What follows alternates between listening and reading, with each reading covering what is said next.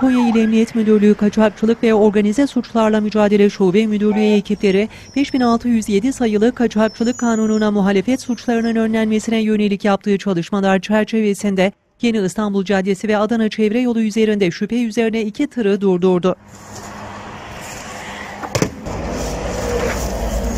Polis ekipleri tarafından tırlarda yapılan aramada dorse kısmında 5 milyon 400 bin adet doldurulmuş sigara, 10 milyon 150 bin adet sahte bandrol yapıştırılmış gümrük kaçağı boş makaron ele geçirildi.